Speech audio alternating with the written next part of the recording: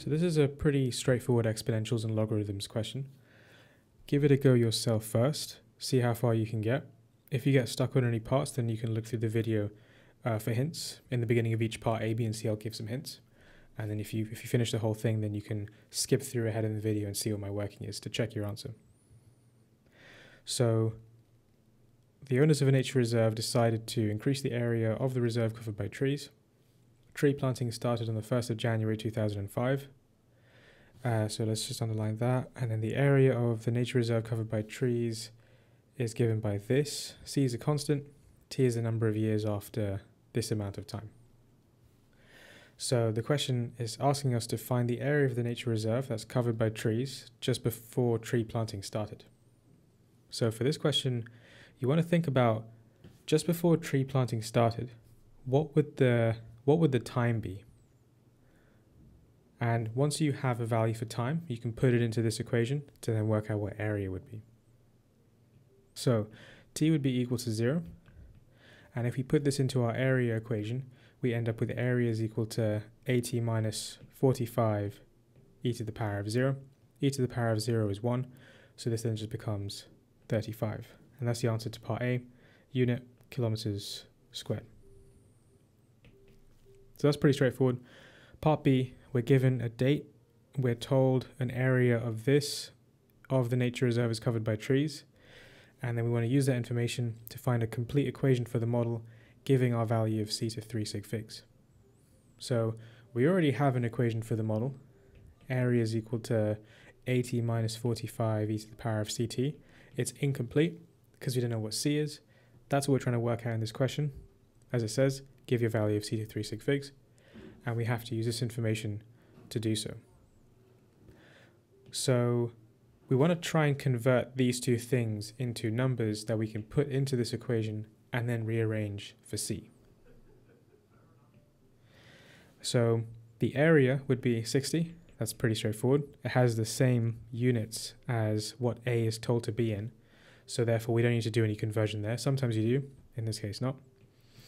And then for the time, we know that it's the 1st of January 2019, and then we're told that the we're told that t is a number of years after the 1st of January 2005.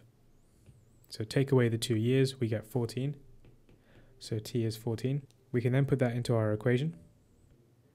So our equation would then be 60 is equal to 80 minus 45 e to the power of 14c. So if you hadn't already got this equation, try rearranging it for c, and then you'll have your answer. So first thing, bring the 45 e to the power of 14c to the left side, bring the 60 to the right, take, take it away, we end up with the right side being 20. And then divide both sides by 45, e to the 14c is equal to 20 over 45, that's the same thing as 4 over 9. And then do natural logs of both sides, so this then will become ln of e to the power of 14c is equal to ln of 4 over 9 ln and e are inverse operations, so they cancel out. And the left-hand side then becomes 14c, and the right-hand side becomes ln of 4 over 9. Divide by 14, and we get c is equal to ln of 4 over 9 all over 14, and that will be minus 0 0.0579 when you type that into your calculator. So now we have what C is, we can put that into our equation for area, and we end up with area is 80 minus 45 e to the power of minus 0.0579 t. So on to part C. So we are told on the 1st of January 2020, the owners of a nature reserve announced a long-term plan to have 100 kilometers squared of the nature reserve covered by trees. State a reason why the model is not appropriate for this plan.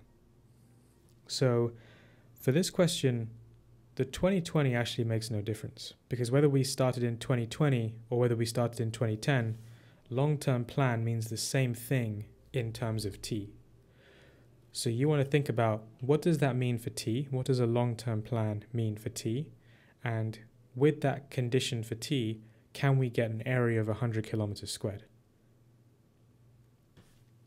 So long-term plan basically means that t is getting bigger and bigger, so is approaching infinity. We know the equation for area, we worked it out in the previous part. So with this equation here, we want to think about as t gets bigger and bigger, what does our area approach? So if you hadn't worked that out, uh, try and do it now. So how you would work this out is in your calculator, you will start with a value of t. Let's just say you put in t is equal to 1. And then you let t get bigger and bigger and bigger. Put in t is 10, then 100, 1000, and so on. And see what a approaches. And you'll find that a approaches 80. But let's think about why exactly this is the case. This is enough for our for the question. If we just say that as t gets bigger, a approaches 80 and can't approach 100, that would be enough. Um, but if we wanted to think about fundamentally what exactly is happening in this equation, the first thing to look at is the exponential part. So e to the minus 0.0579t.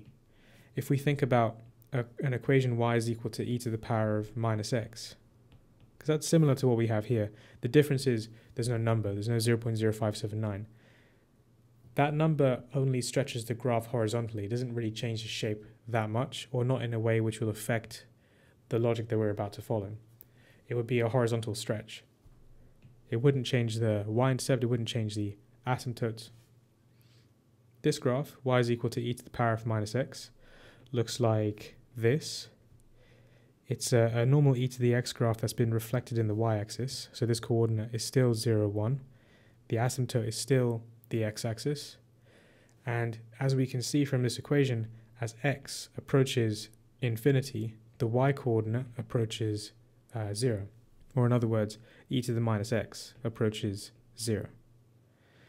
So then we can see from our equation above, this one here, that as t approaches infinity, the e to the minus 0.0579t approaches 0, and therefore the area will approach 80 minus 45 times 0, or it will, in other words, approach 80.